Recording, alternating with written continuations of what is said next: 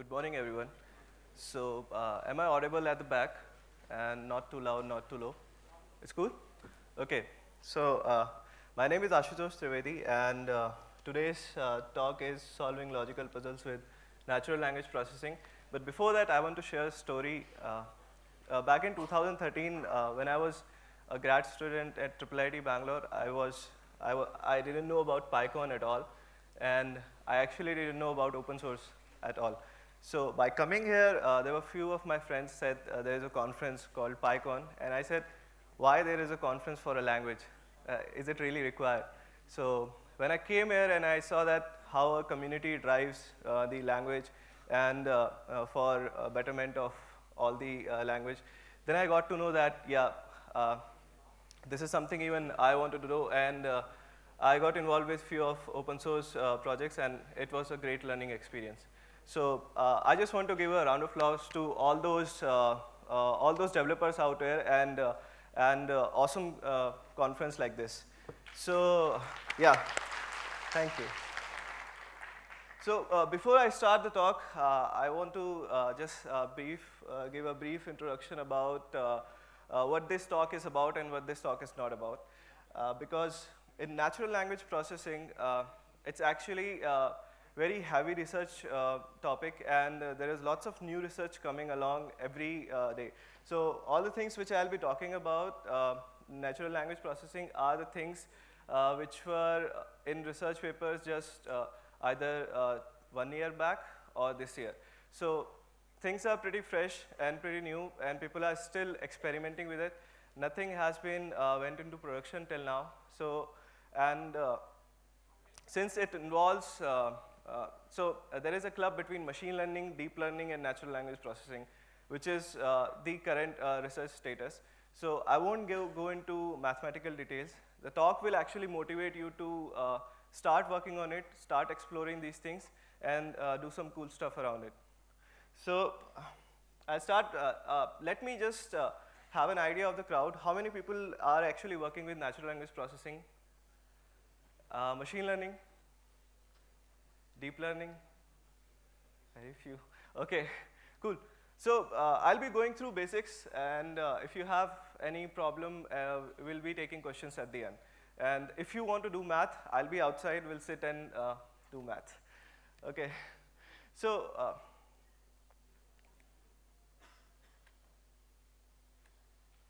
So uh, I start with what is actually natural language processing and how does it start it. So when when we uh, so language was always there with us. Why is not? Okay. So language was always there with us. As soon as we got computers, we wanted to understand language uh, programmatically. Why? It's a very obvious answer because computer uh, needs an interface and what is the best interface rather than our own language, right? So moving forward, uh, uh, we built something uh, which was there that how can we understand language programmatically so that we can do automation and we can have computers do stuff around natural language. So these were the things uh, which people were doing and uh, which is there right now. So what we can do with uh, natural language, since our grammar uh, has a rule, so we can actually follow those rules and uh, say uh, we can we can we can compute part of speech tags for each word. If if so, I'm taking English language as uh, the basic, and all these talk will be focused on that. And there will be different rules and different set of things around different languages, say German and, or Sanskrit, which are heavily grammar oriented. So so we know our part of speech. We also know our vocabulary. Our vocabulary is uh, growing every day, but it's, it's still, uh, uh, we can store all of that. And ngram is a thing which, uh, which we can apply on any language. ngram can be a bigram, trigram, or uh, uh, more than that. So it, it won't uh, consider a word as a word. Every word will be broken into, if it's a bigram, then two word, two character words will be bigrams across the sentences. And uh, word style is uh, capitalization or non-caps, all caps, these kind of things, and noun detection. And we, uh, this is a complicated problem, but still we can detect nouns. So these are the things we were doing to identify that how we can do some thing around uh, natural language. so given a sentence, uh, can you process that sentence and how can you process that sentence so that you can get some information out of it? And if I'm talking about information, what computers can do, they can chunk numbers. So every information which is, which is there, which is called unstructured data, which is text, image, video. So as this talk is focused on text, what you can do with uh, text and how can you convert it to numbers so that you can process it, right? So let's, uh, let's, uh, let's go a sentence. Uh, if there is a sentence, let's go word by word. Uh, so currently what is uh, state of the art uh, two years ago was researchers was actually doing this. They were calculating, so if you go word by word, you have current word, you have previous word, next word, current word n-gram, previous word n-grams, and POS tags, surrounding POS tags, word shapes, surrounding word shape, and anything around it. So uh, there are lots of things you can uh, do with it, and uh, you can actually convert everything into numbers. So by numbers, I mean indexes. So uh, a current word is an index in your vocabulary. Similarly, your next word, even a POS tag, you can, you can create an index. So it's, it's all uh, getting into that, and this all will generate some information. And that information is used to understand that sentence. So if a sentence has 10 words, for each word we'll calculate this much information, create a feature out of it, and do something. So if I say feature, let's, uh, let's say there is a sentence, and uh, it has all these features. So we calculated all these features, and they are in numbers. So what we can do with that? If I, if I go forward with a machine learning model, so let's say uh, I just want to know what is the sentiment of that uh, sentence. So for that, I need to tag few sentences before so that we can learn, right? So suppose uh, sentence one uh, will uh, calculate that uh, this is the uh, vector. If I, if I have um, n features, so it will be uh, n dimensional vector and that n dimensional vector has a tag, okay? And we have some weights associated with each feature. So every feature has some importance to identify the tag. So as soon as we we got exposed to more and more uh, training data, these weights will be adjusted. And this weight will be actually the weight of hyperplane uh, separating all those, uh, separating these two classes. So with each, uh, with each uh, training set, that hyperplane will adjust and try to fit the model so that uh, the negative ones will be at one, at one side of the hyperplane and positive ones will be at the other side of the hyperplane.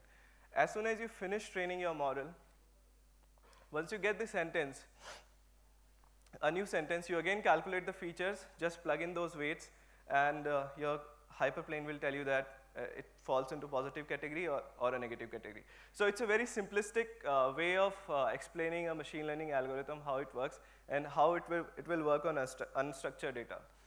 So what are your thoughts on that?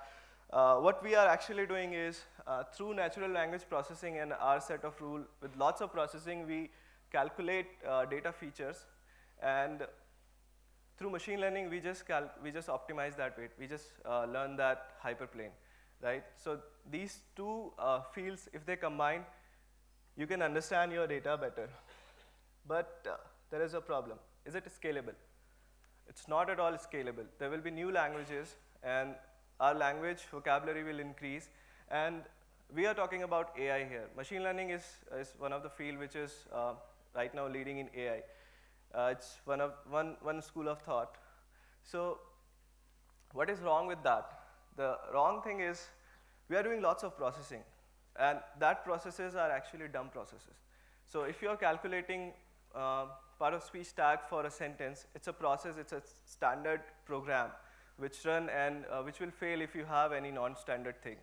Similarly, other features, suppose I'm calculating 50 features under, uh, and if you, if you assume every feature is a process, we have 50 processes running, generating some data, feeding it to um, an optimization algorithm which will run the, uh, your hyperplane. So it's, it's not at all scalable plus uh, it's not iterative. Uh, as soon as you have new data, you have to again do the same thing. So, uh, so something is wrong with that, and researchers also find out that yeah, something is going wrong, and we are not scaling up in NLP. So, whatever the research was there for last 10 years was actually superseded by last two years research, which was uh, introduction of deep learning into uh, natural language processing. So uh, we hit the basic first. How do we represent a word? So when I said we'll process a word, and uh, if we process if we process a sentence, and I say we will process it word by word. So there is an inline uh, uh, problem with that. Uh, our word representation are actually very weak. So how do we represent a word? Suppose uh, I say we'll build indexes. So if, if we have a vocabulary and if, if there is a word which is called nice and it, it comes as a 30th uh, index, so we'll create a one hot vector. So this vector is called one hot. Um, it's it's 0, 0, 0, and 1 at the place uh, where, where its index is. So 30th index is 1, rest are all are 0. So dimension of the vector is your uh, size of the vocabulary. So this is how you represent, suppose a word is nice, which is at 30th place, and word is um, good, which is at 45th place. So with this representation, can we say these two are actually same? We cannot. So the main problem is how do we represent the word? Our word representation does not convey any information about that word. We calculate it, uh, we calculate information about the word by the surrounding, uh, surrounding neighborhood words. So if we, uh, uh if we improve our uh, uh, representation of word, we'll be saving a lot of computation and we'll be doing some more analysis on top of that. So there was an answer for that earlier, and people, uh, people actually thought about it, and they created word nets. So word nets are uh, a tree or a graph, you can say, and they, they actually capture the hierarchical information about all these, uh, uh all these words. So, uh, so if you have awesome, good, nice, okay, it's a hierarchy, and they are connected, and their distance uh, tells you that how good they are connected, and there are nouns also. But there is a problem with WordNets too. It's, it's a lot of manual labor by linguists. So they created over the period of time, and Princeton has highest WordNet right now. You can access it, and I'll be showing Python uh, how we can do it with Python. So WordNets has problem for, it's actually a lot of manual labor, scalability issues will be again there, and as soon as you have new words, how do you associate those new words to previous words? Again, you have to do a lot of computation, and there will be a lot of validation from linguists, and they may not agree. So if LOL, LOL has to come into WordNet, so how do you uh, connect it? And few people will not even agree that it's not even a word. So there are lots of things has to go in, into that, uh, which is language specific. And the biggest problem is nouns. We have, we are generating nouns every day. So uh, how do you, uh, how do you incorporate all the nouns in that? And how do you say that this noun is actually similar to that noun? So all these problems are there. Uh, I'll just uh, I'll just give you a demo of uh, WordNets through Python. NLTK is uh, natural language processing library in uh, Python. Uh, through NLTK, you can see that they have these WordNets saved into that in corpus, and you can access those WordNets. okay, so so so this is how we can we can we can access WordNets. And uh, WordNets has lots of information and lots of rules uh, in that. So you can uh, define is a relationship which is called hypernyms. So if I say, uh, so this demo shows that panda and, uh, and uh, okay, so let's say, so that, that is not rendered. So let's say we want to say that how many synonyms are there for nice and it will show you the hierarchy of all those synonyms. similarly for these nouns also. And it also uh, tells you that uh, what is the region and domain. So there are lots of information in WordNets you can get out of it. So what is the etymology of, of a word and how it is connected to uh, which region it is connected to. So Pakka is an Hindi word, so its region is uh, India. So these kinds of information you can uh, take from WordNets. Uh, what I can do is I'll, I'll switch to these demos at the end so that it will be straightforward.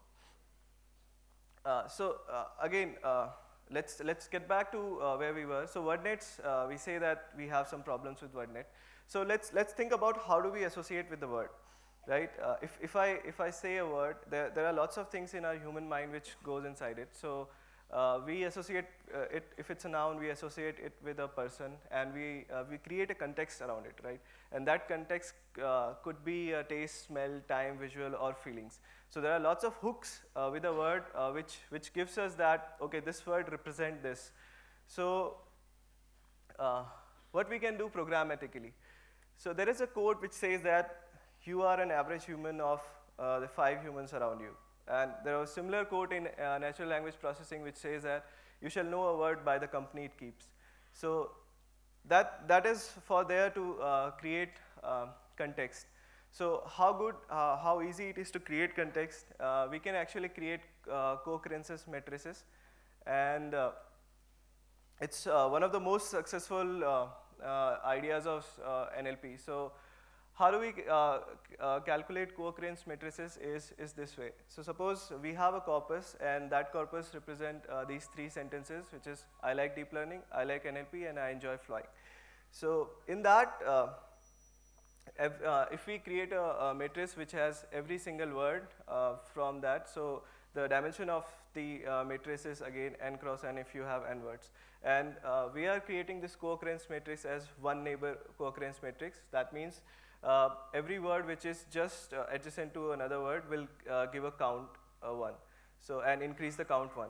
So, you can do that for higher um, context also. So if that matrix is there and so I, we represent our uh, complete corpus in that matrix. Again, there is a problem with that.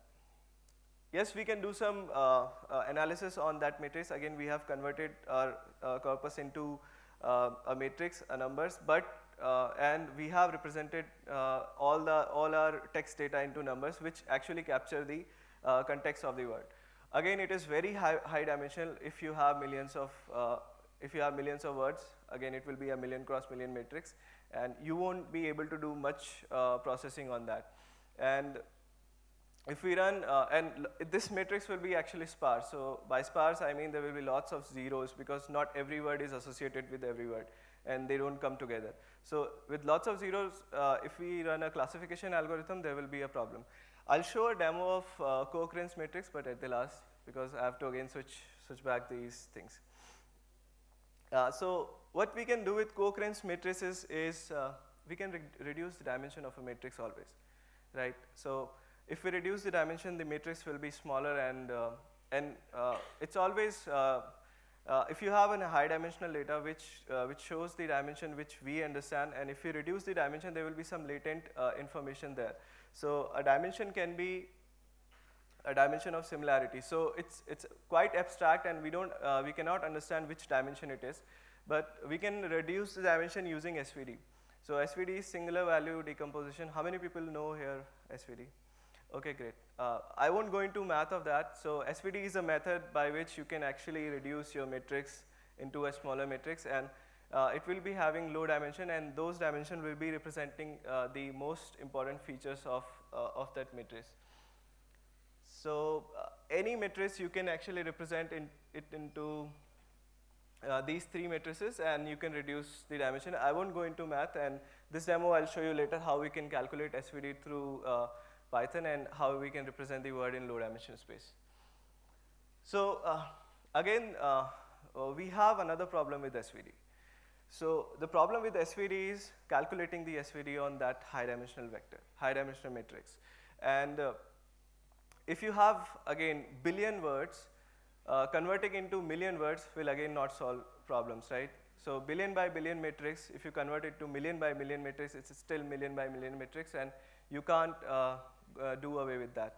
So again, inherent problem with SVD is calculations and iterativeness. Again, if I have a new sentence in my corpus, I have to calculate the SVD of the whole corpus again and then uh, do this stuff.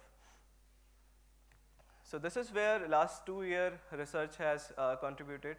This is the algorithm called Word2Vec. It's by Google and uh, uh, by Tomas Mikolov and Jeff Pennington. And there is another research happened in uh, uh, Stanford by uh, Richard Socher and Yoshua Bengio, uh, which, is the, uh, which, which, are very famous guys in NLP.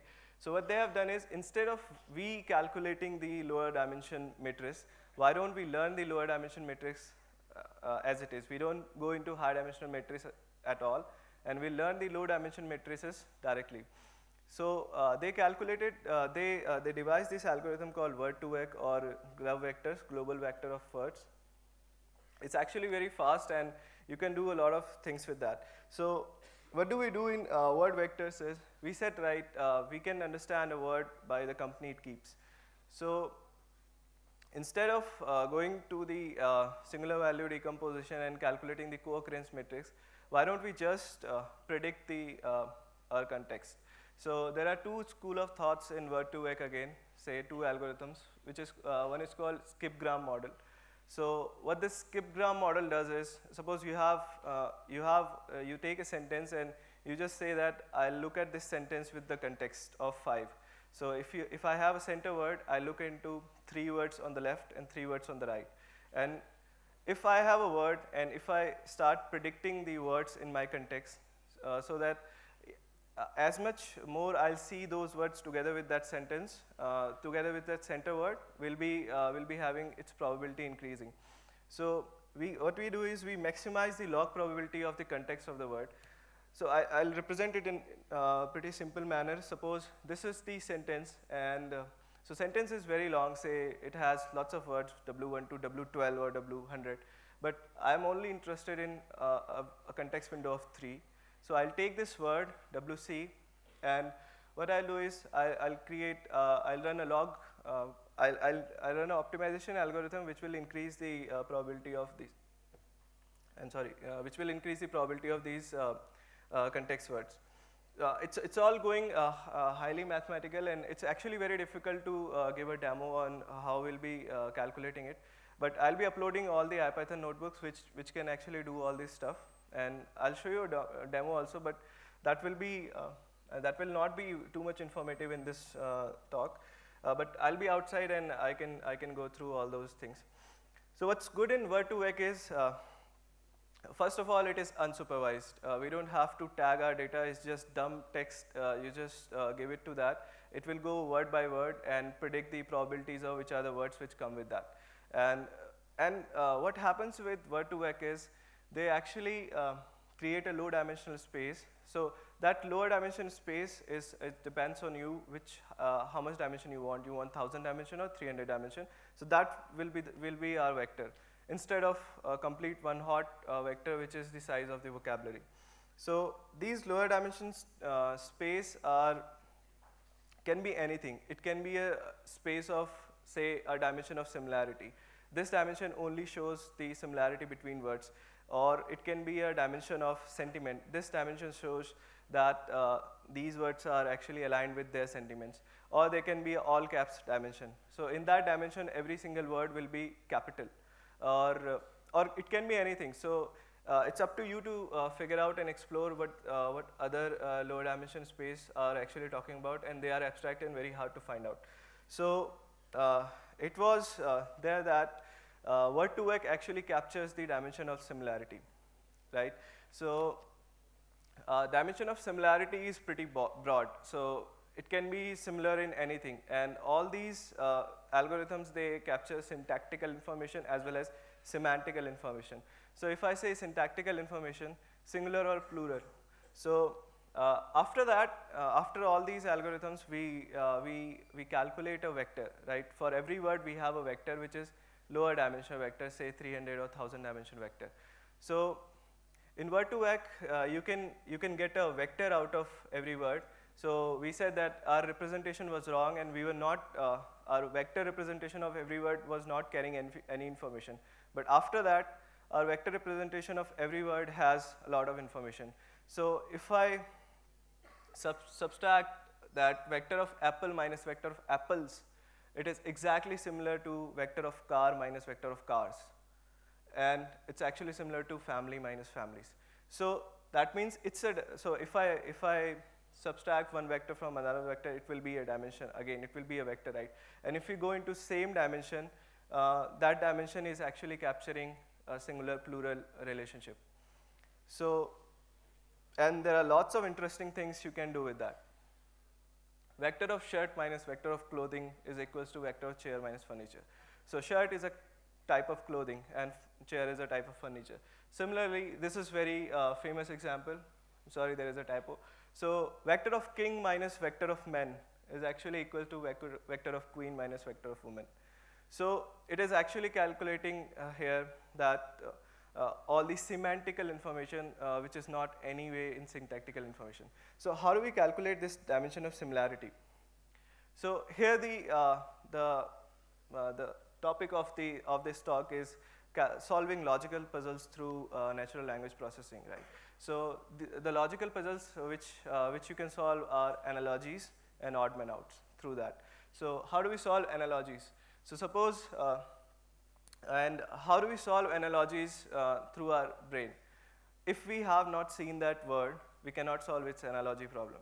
And if we have not seen that word, we cannot solve its uh, uh odd man out problem. So, so it's actually, uh, the, this limitation applies to that algorithm as well, which we human has.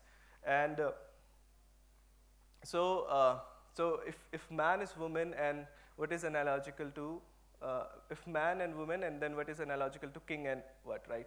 So that will, uh, so answer is queen. So in word2vec you can just simply uh, say uh, add king minus men plus woman minus, so that will be queen. So if you can see that man and woman direction is exactly similar to king and queen direction. So if we have these three information, we can directly jump into queen. So in this way, you can solve your analogy problems. And in this way, you can also solve your uh, odd man out problem. So how do you solve odd man out problem is, uh, uh, suppose uh, when we were training our uh, word2vec model, when we are calculating all these probabilities that which word comes uh, together, what we can do is we can just infuse some bad data, random text, not even random, which is wrong in grammar, right? So that is called negative sampling. So we are giving wrong data to the algorithm and we'll say that this is wrong. So we just tag that this is, say, uh, all the nice words are 1, which is grammatically correct. All the wrong words are 0, tag to 0, which is grammatically not correct. So algorithm will run, learn that these words should not come together, which are, uh, which are not the part of the grammatical structure. So if we, if we go into odd man out, it will say that these words have not come together in any dimension so this word is actually out of that. So I'll, uh, so I'll go through all these uh, uh, demos now so that we can see that in action.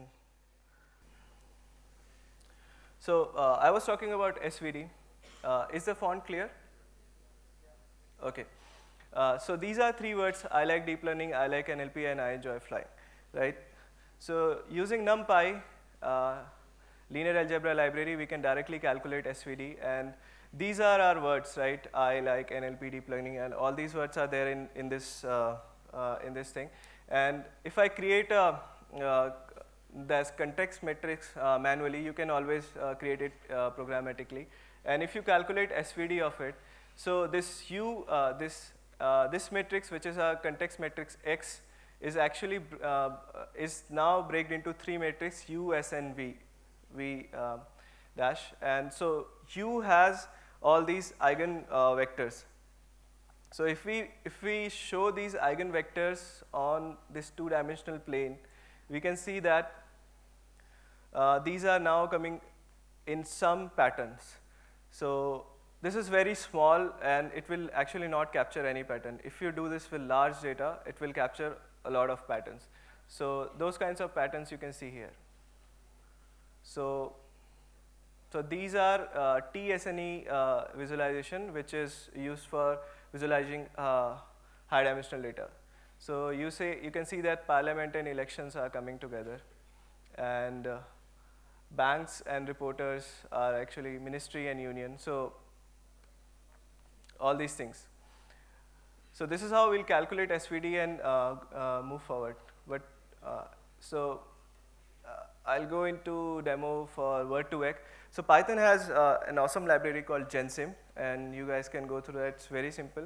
And uh, Radim Řehůřek is the uh, author of that. So in uh, Word2Vec is actually written in C. So he has converted into Python, and it's actually very fast. And you can do uh, distributed programming also because Word2Vec is limited to high volume data. So Google has, uh, Google has given a trained model of Word2Vec, which is 100 billion word model. It has 300 million unique uh, words and it contains almost everything we speak today, even Indian words. So you can check your name there uh, whose name you are similar to.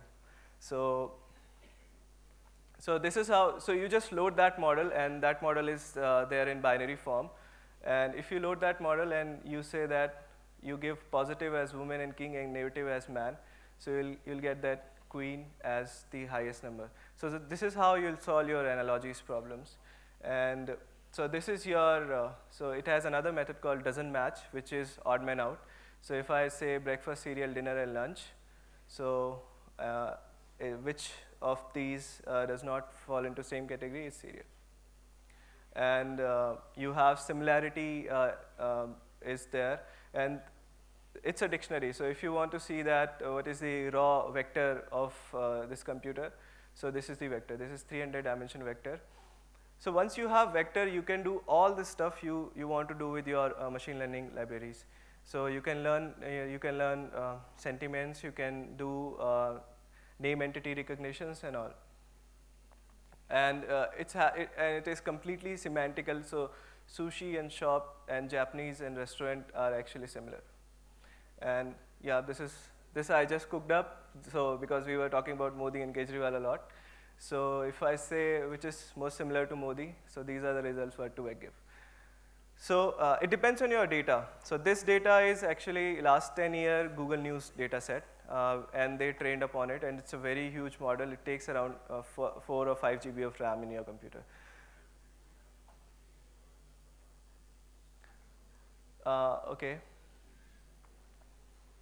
I'll quickly uh, go through uh, one of the thing uh, which is about Word2Vec is, or maybe I should just, uh, okay, so if you want to train your model, so uh, you have you have to create your uh, you you have to create your text to to to sentences, and then you can train your own model and then do do queries on this. So I have other things which I can talk offline, and I'm open for questions right now, if you have any. Hi. Uh, this is more of an announcement rather than a question. Um, my name is Amit Rao, and I'm a freelance technology consultant with a background in uh, research and development in natural language processing. So I've uh, created an open uh, space slot at 12.30 uh, for people who are interested in natural language processing and Python. So as Ismail said, there is a NLTK toolkit, and I think there's an opportunity to create a community of people who are interested in NLT, uh, NL uh, processing. So those of you are interested, please uh, come to the first floor at 12.30, and we'll, we'll brainstorm on how we can contribute to this. Thanks. Sure, sure, thank you. Uh, hello? Yeah. Uh, thank you for the great talk. Uh, I have two questions. Okay. The first question is when we are talking about Word2Vec, you said it is based on uh, context-aware predictions, okay. which is maximizing the likelihood of a word yes. nearby. Right. So uh, the idea that uh, was responsible for the Word2Vec, Word2Vec was that the original co-occurrences model was very huge to store, right? Right. It was n-square implementation. Correct. So uh, can you tell me how exactly they are storing the context out of a word in Word2Vec? So uh, Word2Vec is, is a neural network. Yeah. So the algorithm is neural network. So initially you give one hot encoding as your first layer. Second layer is your dimension. Suppose you want 300 dimension vector, you uh, train it to just 300 dimensions. And after that, uh, you just output that word again. So uh, once you are calculating gradient descent, and that time you'll ca uh, calculate gradient descent or any optimization on the weights of maximum likelihood of your context words. So so, we, oh, so, so you'll save that as NumPy arrays. Okay, so aren't we actually constraining the model uh, to understand uh, uh, the limit of context out of a word? So there is a possibility a word is associated with another word which we are not allowing it to train on because we are putting a constraint of so, uh, dimension. so that depends on your uh, computational power. Okay, so your context is free. You can take a 100, 100 left and 100 right word context and you can increase your dimension to say 2000 or 5000. So, that is that is, that is uh, tuneable. That that is a parameter which is in there in algorithm. And uh, one last thing. Yeah. Uh, when you were talking about the vectors in n square uh, co-occurrences, so you uh, gave an example of say the word is nice and it is at the 30th index, so there will be a one on that point. So that will generate an n square matrix, right? Right. So uh, right now I was thinking if we take a straight off single vector where uh, words are indexed with their index number only. So Correct. nice is a vector that is connected directly to a vec- uh, position 30 in a linear index, right? And uh, to associate a word, we can add it index. We can add the indexed weight. Suppose there are 100 words and this thing is at 30, so its indexed weight is 0.3 and we want to associate it like nice weather. Weather is at 70th index, so it is 0.7. So we can add 30 and 0.7. So 30.7, the number itself is uh, some way signifying that nice weather is a context. Correct. So uh, I mean, I don't know, I just came up with it, but Right. that is a very nice way of linearizing a n square order problem. Correct. That is that is that is the way, and uh, people are actually doing it. But it's it's very limited to uh, your context. If you train a model, that is only limited to your own context. It's not a generalized like Word2Vec that you can do a lot of things. So in your view, nice and weather, you are giving the weights. You're not learning the weights automatically out of the uh, the corpora, right?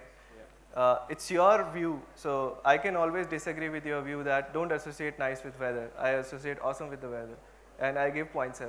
So there are these kinds of problems are there. Okay. Uh, one more question out here. Uh, up here, up here, on your right. Yeah. Okay. Yeah. Hello. Yeah. So one of the things you talked about right now using these vectors, right? So you're associating some words in its neighborhood, and you're predicting a likelihood that the similar words will appear next to it, Correct. right? So how do you handle multiple uh, meanings, right? Like uh, nice, right? Nice could have three or four meanings. It could be nice as in nice. It could be something talking about a nice level where it does not mean good, like the CPU nice level.